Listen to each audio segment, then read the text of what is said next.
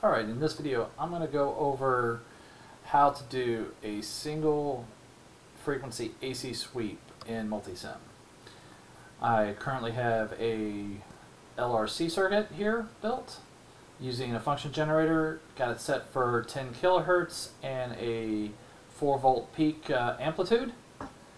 And for this I am going to get all the voltages on each component along with their phase angles, the current, and the power draw.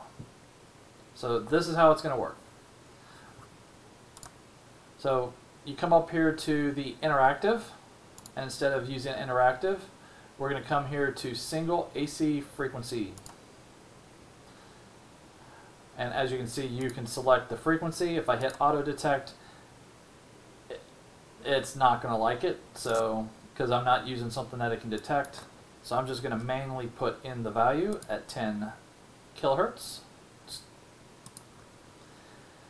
The output. If I want to see the frequency, I can have that in there as well. But I, the format's either going to be real or imaginary or magnitude and phase angle. I'm going to choose magnitude and phase angle because I want to see the phase angles. We move to options and we are presented with the variables in the circuit. So you can see that I have current, power, and voltages. Now understand the voltages here do not correspond with the actual devices, they correspond with the nodes that I have labeled here, E, L, and C. So since this is a series circuit, the current is going to be the same. So we're just going to drop that in. Just to prove this it's going to give me the power for all three components. And obviously C is going to be the, the voltage of the capacitor. Now to get the voltage for the inductor and the resistor, I'm going to have to do a little bit of math. To do that, I'm going to use the add expression tool. And that pops up. And for the inductor, it's going to be the voltage at L minus the voltage at C. So VL minus VC. All right, and I will do the same for VR. So that's E minus VL. Now, this is going to give me peak values. If I wanted to let this do the number for peak to peak, we know that peak to peak is 2 times peak. All I have to do is edit the expression.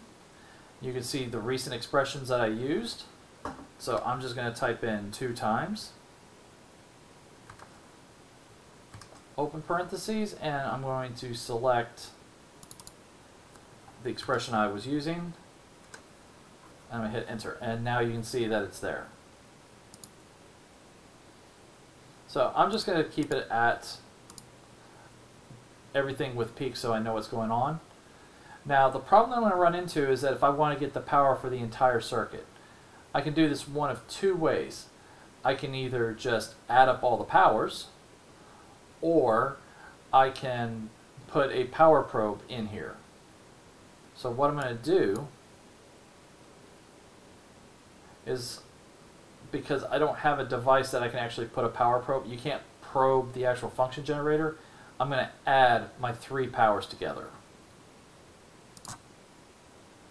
So,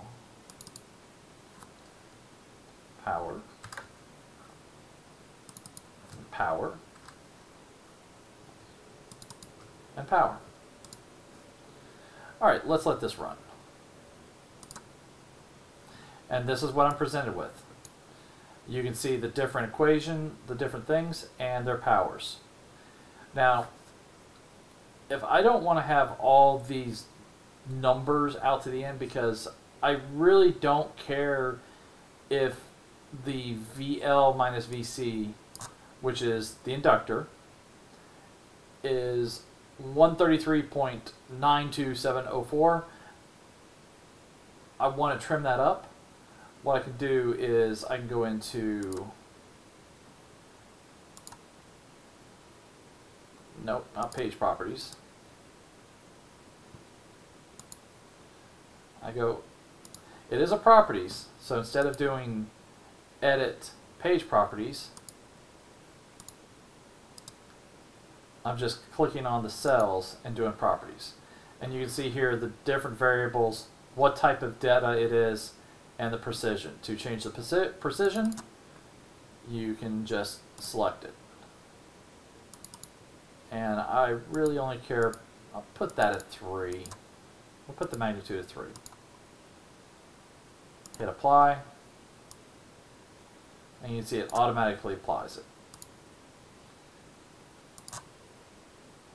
Make it a little easier to view, and I can drag this. You can't just auto click it to make it go.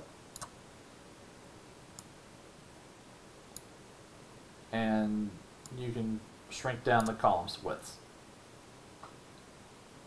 If I hit, let's see, where was it? You can look through these if you want, but I can export to Excel. And you see it come it comes into Excel where I can manipulate the data. So if I don't like this super long formula for total power, I can just come in here and power total, make it nice and pretty.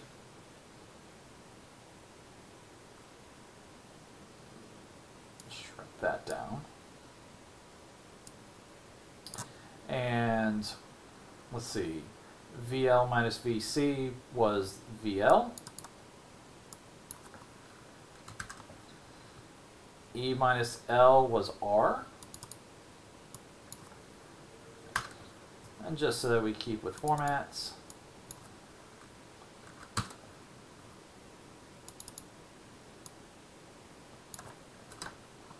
just come in here and change these values.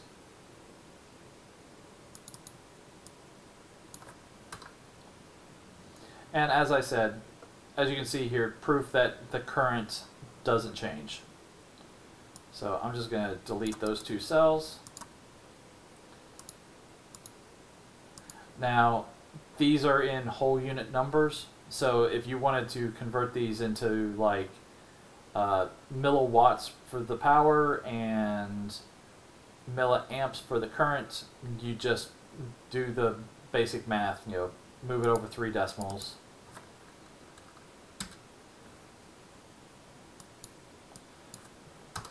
And then you make sure that you put the corresponding symbol on it. But this is getting into how do I work with Excel. And that's the basics of how this works.